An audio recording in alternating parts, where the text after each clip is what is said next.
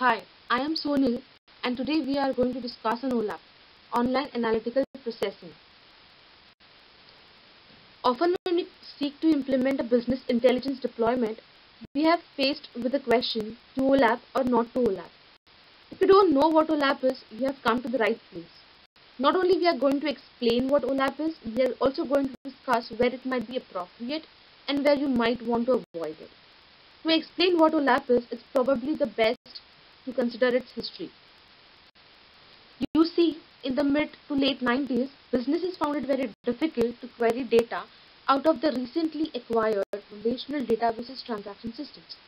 Not only queries are very slow, but they simply weren't flexible enough to navigate the data. And remember, even the best processors at that time would be blown away by your average laptop today. Various vendors in the marketplace introduced proprietary solutions to address this, which ushered in the rise of OLAP. One of the critical goals that the OLAP vendors tried to achieve is to minimize the amount of on-the-fly processing needed while the user was navigating the data. This was achieved by preprocessing and storing every possible combination of dimensions, measures, and hierarchies before the user started his or her analysis. This allowed the data to appear instantaneously when the user investigated the information. While the market has matured greatly and some standards have emerged, the data optimization methods of OLAP are fundamentally still the same. Overall database activity can be divided into two broad classes. One of them, the traditional one, is known as OLTP or Online Transaction Processing. The other one, the subject of this video, is OLAP. OLTP is typically characterized by short transactions, both queries and updates. Things like updating the account balance in a database or logging a page view in a web application. In OLTP, databases are generally fairly simple to find an account balance or to find GP of a student. They typically touch small portions of the data and updates in the environment can be frequent. You might be making airline seat reservations or updating an online shopping cart. OLAP is a pretty much opposite in all respects. In OLAP, we have long transactions, often complex analysis of the data or data mining type operations. The queries I said can be complex and especially they often touch the large portions of data. Updates in OLAP environment tend to be infrequent, in fact sometimes it is not there. Given below are some examples of OLAP. Amazon analyzes purchases by its customers to come up with an individual screen with the products of likely interest to the customer. This requires complex analysis of the data by their customers. We also have analysts at Walmart look for items with increasing sales in some regions with the help of OLAP. Multidimensional data model is an integral part of online analytical processing or OLAP. Because OLAP is online, it must provide answers quickly.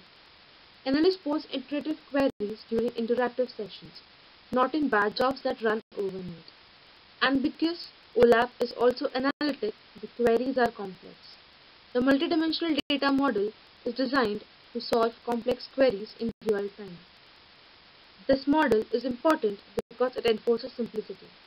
As Ralph Kimball states in his landmark book, The Data Warehouse Toolkit, that the central attraction of the dimensional model of a business is its simplicity. That simplicity is a fundamental key that allows users to understand databases and allows software to navigate databases efficiently. It is component of logical cubes, measures, dimensions, hierarchies, levels, and attributes. The simplicity of the model is inherent because it defines objects that represent real-world business entities. Analysts know which business measures they are interested in, which dimensions and attributes make the data meaningful, and how the dimensions of their business are organized into levels and hierarchies. OLAP is further classified into three main categories. Multidimensional OLAP, relational OLAP, and hybrid OLAP, which is a combination of MOLAP and ROLAP. Multidimensional OLAP, also known as MOLAP. MOLAP product enables end users to model data in a multidimensional environment, rather than providing a multidimensional view of relational data, as ROLAP products do. The structure of a multidimensional model is not a series of tables but what is generally referred to as a cube. Cubes, modeled in a multidimensional database, extend the concept associated with spreadsheets. Just as a cell in a spreadsheet represents the intersection of two dimensions, a cell in a cube represents the intersection of infinite number of dimensions. In short, multidimensional database allows users to add extra dimensions rather than additional tables as in a relational model.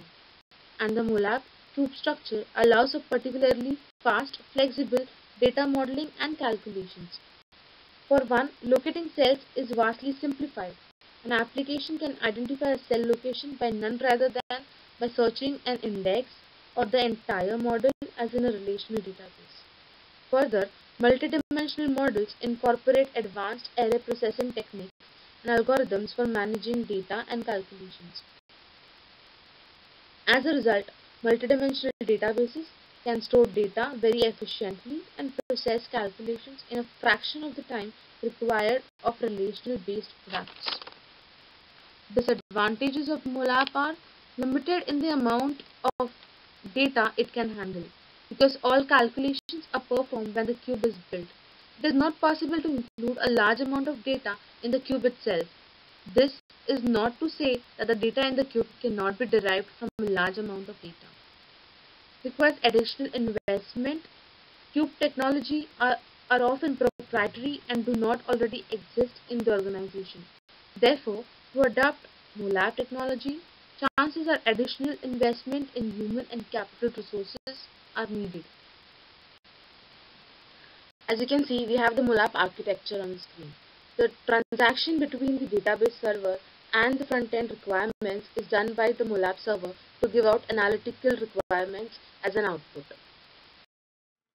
Hi, this is Pallavi and I will be further explaining the OLAP technology. A MOLAP cube is a term that typically refers to a multidimensional array of data. For example, a company might wish to summarize financial data by product, by time period, and by city to compare actual and budget expenses. So, product, time, city, and scenario of the actual and the budget data are the data's dimensions. Each cell of the cube holds a number that represent some measure of the business, such as sales, profits, expenses, budget, and forecast. Conceiving data as a cube with hierarchical dimensions lead to conceptually straightforward operations to facilitate analysis. Aligning the data content with a familiar visualization enhances analysts' learning and productivity. The user-initiated process of navigation by calling for page displays interactively through the spe specification of slices via rotations and drill down or up is sometimes called slice and dice. Common operations include slice and dice, drill down, roll up, and pivot. Slice is the art of picking a rectangular subset of a cube by choosing a single value for one of its dimensions, creating a new cube with one fewer dimension. Dice is the operation which produces a subcube by allowing the analyst to pick specific values of multiple dimensions. Drill down or up allows the user to navigate among levels of data ranging from the most summarized which is up to the most detailed which is down. Roll-up involves summarizing the data along a dimension. Summarization rules might be computing totals along a hierarchy or applying a set of formulas. Now I'll be explaining about roll ROLAP. Relational Online Analytical Processing or ROLAP is another form of OLAP which performs dynamic multidimensional analysis of data stored in a relational database rather than in a multidimensional database. ROLAP is the fastest growing style of OLAP. Its products have been engineered to support products directly through metadata. It enables multidimensional views of 2D relational tables. It also has a special schema called the star schema. One relation is the fact table, all others are the dimension tables. As we can see, there are some uh, there are pros and cons of the ROLAP. The pros include flexibility, while the cons include data database design. Some of the examples of ROLAP technology would be Access and Beacon. The star schema. In a three-tiered architecture, the user submits a request for the multidimensional analysis and the ROLAP engine converts the requested SQL for submission to the database. The star schema shown here separates business process data into facts which holds the measurable quantitative data about a business and dimensions which are descriptive attributes related to the fact data. A star schema with many dimensions is sometimes called a centipede schema. There are several benefits of the star schema. The star schemas are denormalized, so we have simple queries, simplified business reporting logic, query performance gains, fast aggregations. But the main disadvantage of the star schema is that data integrity is not enforced as well as it is in a highly normalized database. This slide shows us the ROLAP architecture which provide a multidimensional view of the data to the user, but it stores the data in the relational database format. This architecture goes on with the logic that relational storage of data can give much higher level of scalability and can absorb as many dimensions as needed. This can also provide faster response time due to indexing and other features. Now that we have discussed two most integral types of OLAP technologies, I would move on to HOLAP or Hybrid Online Analytical Processing. It is a combination of multidimensional OLAP and relational OLAP. HOLAP was developed to combine the greater data capacity of ROLAP with superior processing capability of MOLAP. Typically, it stores data in both relational and multidimensional database and uses whichever is best suited to the type of processing desired.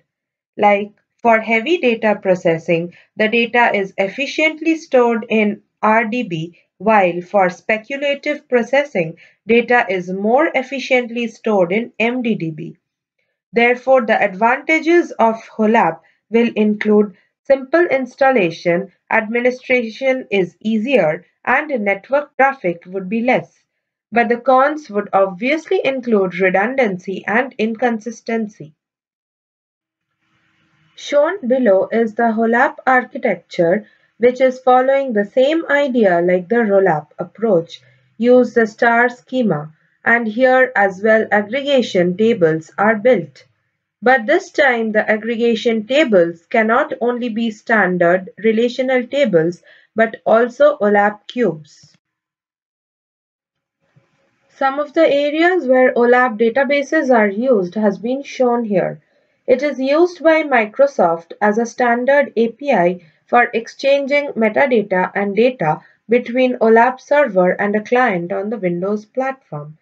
It is also used as a marketing and sales analysis and fi in financial services industry. The main limitation of OLAP databases is always the number of cells and not the number of dimensions. Hence, as the dimensions increase, the number of cells increase exponentially. Also, in practice, most of the time, the OLAP servers reach their limit in cell numbers before they hit their dimensions limit. Therefore, as a conclusion, OLAP technology is fast, provides flexible data summarization and analysis. The OLAP servers are a superior technology for business intelligence applications. The OLAP servers and relational databases can work together to create an environment that delivers data quickly to perform the analysis needed to make the best business decisions. This brings us to the end of the presentation on OLAP. Thank you very much for listening to both of us.